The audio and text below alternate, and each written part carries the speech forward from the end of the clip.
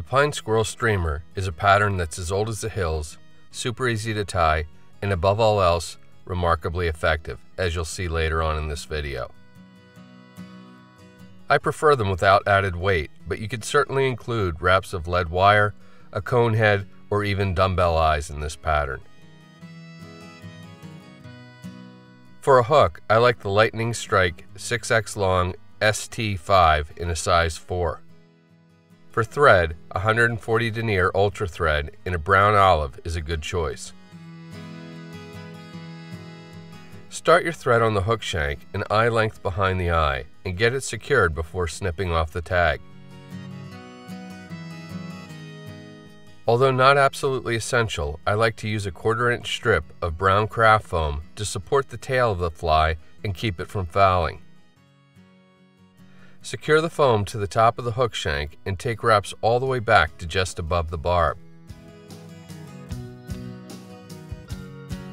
Really get the foam bound down and compressed on top of the hook. Using the bend of the hook as a guide for your scissors, snip the foam off square. This little nubbin is all that's needed to support the tail. Zap-A-Gap is a remarkable adhesive, but it can be difficult to control directly from the bottle. Instead, squeeze a few drops onto a sticky pad and then use your bodkin to pick up a small amount. Apply the Zap-A-Gap to the top of the foam tail support. The only other material for this fly is a single pine squirrel zonker. Although you can get them in small packs, I found the full skins to be more economical. Snip a single, full strip from the skin this is a sculpin olive color and one of my favorites. Leaving about an inch long tail, separate the fur to expose the hide. Wetting your fingertips will help do this. Position the space just above the thread and push down to secure the hide to the tail support. Take several good tight turns of tying thread to anchor the zonker and then pull the strip back and take wraps forward all the way to just behind the hook eye.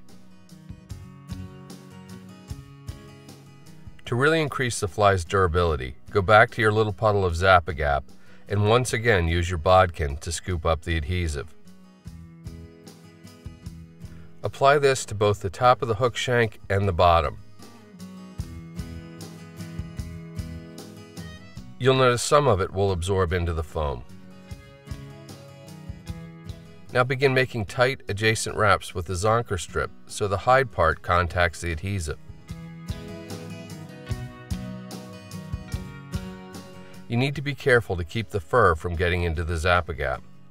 Just keep pulling the fur rearward as you go.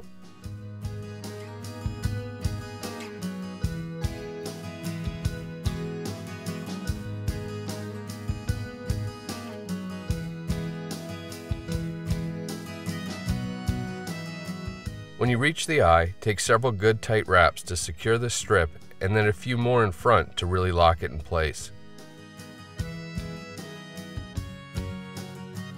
You can then snip the strip off close. Pull the fur back and take thread wraps to cover any exposed hide and form a head on the fly.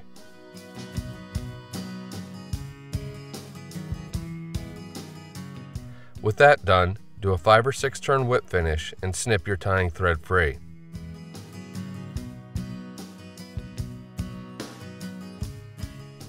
Finally, apply a liberal amount of head cement to the thread wraps, both top and bottom.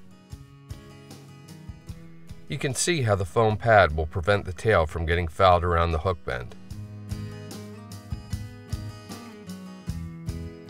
I think the natural markings on the fur definitely add something to this pattern. And as you can see, it has a ton of movement when it's in the water. The Pine Squirrel Streamer works great any time of the day, but it's especially effective after the sun goes down.